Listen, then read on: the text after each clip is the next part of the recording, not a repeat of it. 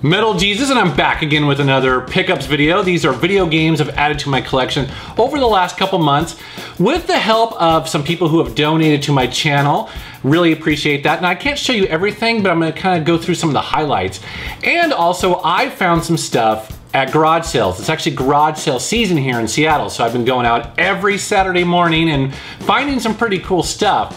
As a matter of fact, some of the stuff I'm gonna show you is, is pretty unusual, pretty interesting, at least to me. I mean, it's just stuff you don't normally see in pickups videos. And so I think you guys are gonna like it. Let's take a look.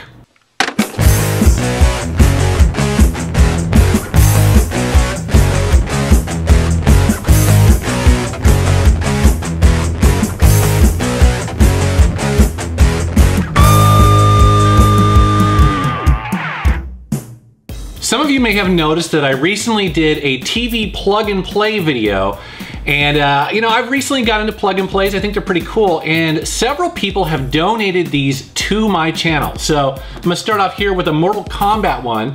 This was donated by Tim. And I gotta say, this is actually a pretty impressive plug and play. Um, it's big. It's kind of it's kind of shaped like a uh, like an arcade cabinet almost. It's actually pretty awesome. So I want to show you guys this uh, Mortal Kombat plug and play, but that's not all. Reggie, my good buddy Reggie, also donated one. He donated this Super Pac-Man plug and play. Very cool, looks great, and uh, feels really nice. This is probably one of the better plug and plays that I have in my collection now. It's got like a little uh, little power button here that's kind of like modeled after classic uh, Uh, you know, arcade machines, pretty cool. And then I had another plug and play donated, and this is the Intellivision one. It's kind of hard to imagine that they would model the Intellivision controller in a way with all those buttons on this, but it seems to work pretty well. Very cool to own this. And so this is getting to the point where I have most of the TV plug and plays that I want. The only one I'm really missing is the Commodore 64 one, and that's pretty hard to find. But what's really cool about it is that if you get that, it actually has a working Commodore 64 burnt into the ROM. And so you can actually mod it to it to connect a real floppy drive, joystick, monitor out. It's actually pretty crazy. So I'm hoping to find one of those maybe at the Portland Retro Gaming Expo. While out doing some garage sale hunting, I came across an item I've been looking for for quite a while, and that is the special backlit Game Boy Advance SP. This is the model AGS 101. Now, uh, if you don't know what that is, it may not sound that impressive, but when you compare this model to the original SP, the differences, especially when you're playing games, is night and day. They're so much crisper in this version here. This is the version to get. I mean, if you are go going to jump into collecting for the Game Boy Advance, get the backlit one. It's worth the money. Now, I only paid $3 for this, which is a hell of a deal. Um, I actually got really lucky rolling into this. The, the, the, kid also sold me a bunch of games, which I'm gonna show in a second here. But side by side, this is the model to get. Now, this one's a little beat up. It's been used, you know, and uh, that's cool. You know, it works great. But uh, I guess there is a SpongeBob SquarePants version of this that is also backlit. So that's my goal. I want to get that version of it. That would be really cool. Now, if you follow me on Facebook, you know that probably about a month or so ago, I did a pretty amazing trade with a good friend of mine. His name's Matt and he came across a bunch of pretty old classic role-playing games for the PC and that's a part of my collection I'm starting to get really passionate about. So uh, we did a, we did a trade officially, although really um, I got the better end of that deal and he was very happy to donate these games basically to me. So I'm gonna show you some of those right now, uh, including this one, which is 24 AD.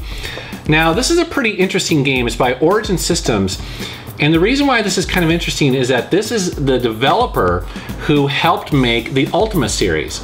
Um, and this is a post-apocalyptic kind of cyberpunk uh, game. You know, graphically it's not very impressive anymore, but I like collecting these for the historical aspect of it. And you know, honestly, the uh, the covers are beautiful. they just have this this awesome artwork on it, and plus uh, they have manuals in here with often it's like printed material of like the story and the characters and stuff. So it's actually kind of fun to read this stuff. So he sent me that.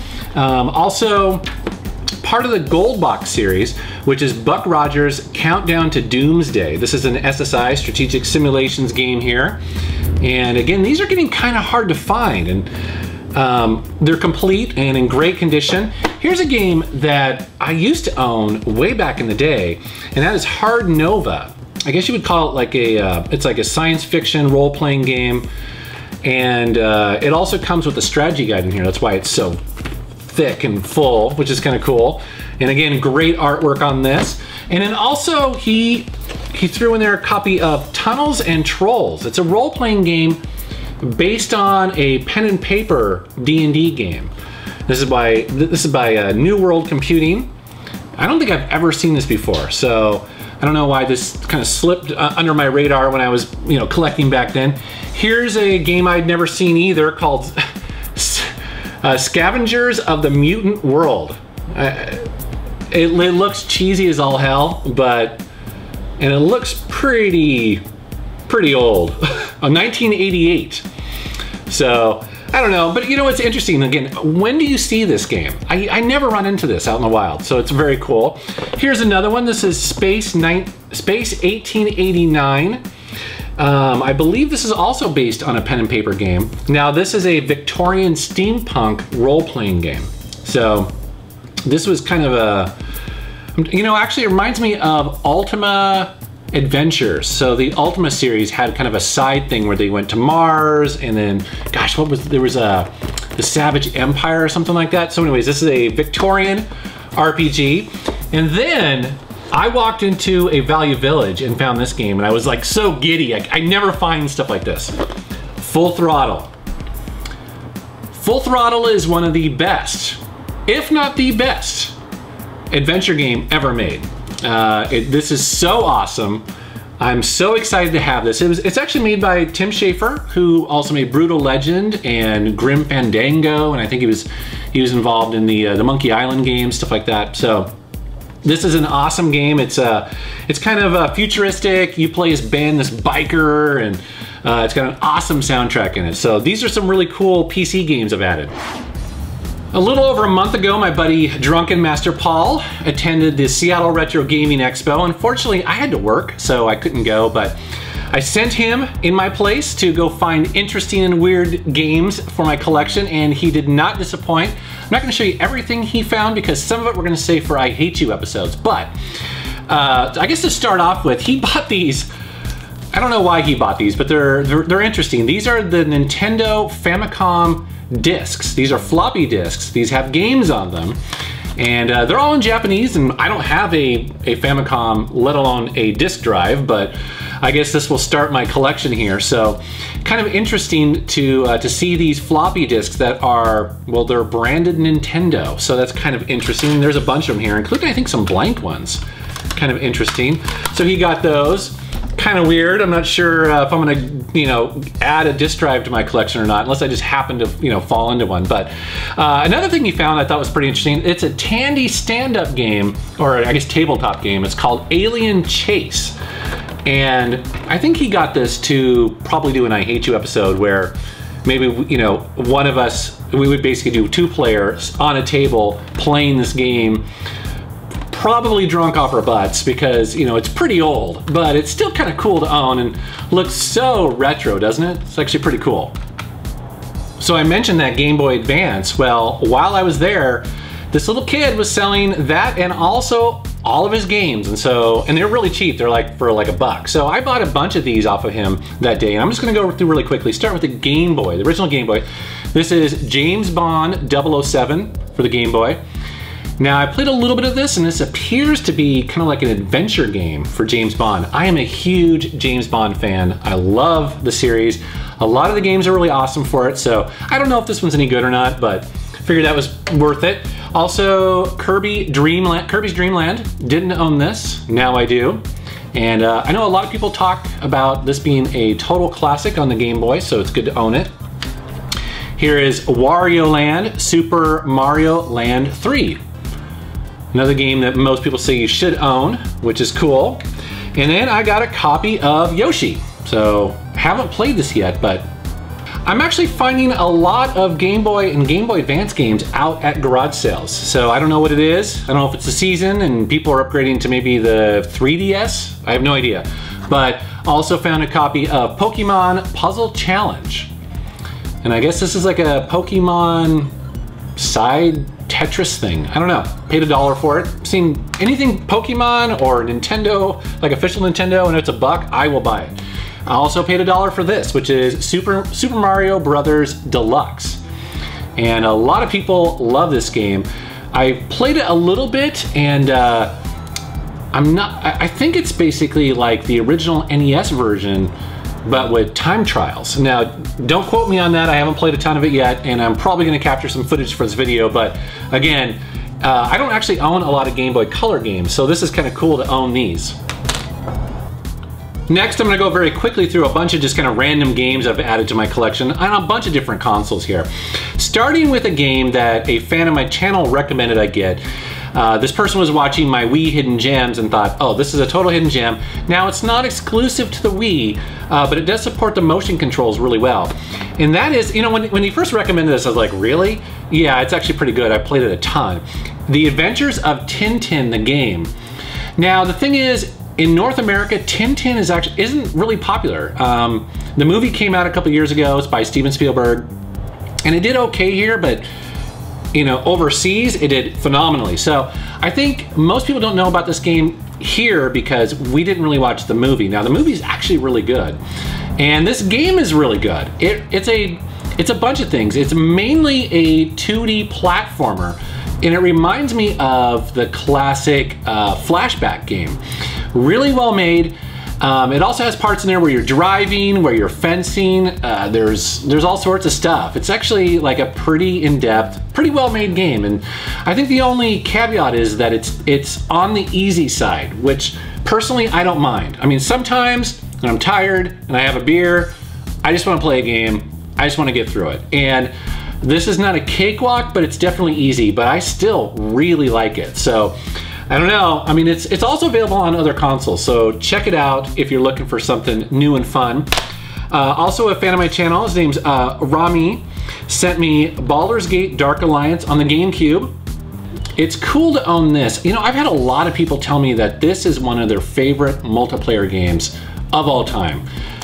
Two friends sitting on the couch going through this game is the way to go. So I think uh, me and Drunken Master Paul are gonna have to do that some night. That would be pretty cool. I also picked up some PSP games. I'm not going to show you all of them, but I did pick up one I used to own. Uh, it's SSX on Tour. I love the SSX series.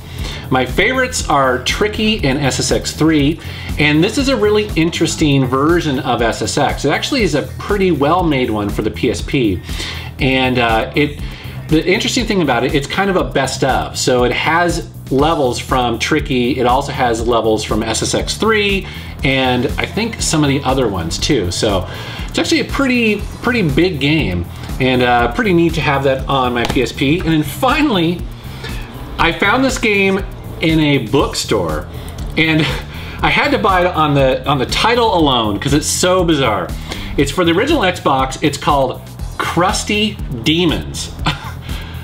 I don't know what they were thinking naming a game Crusty Demons. I mean, honestly, that's the nickname that my wife gives my underwear, okay? That's not right. So naming a game like that, that's not right. I don't know, but I bought it, so who's to say? But you know what, it's got a guy with a, you know, it's like a Mad Max dude on here and motorcycles. I'm like, Crusty Demons, maybe it's got a heavy metal soundtrack. I have no idea. I'm probably the only person in this hemisphere who owns this game. If you own this game, I wanna know about it. Let me know.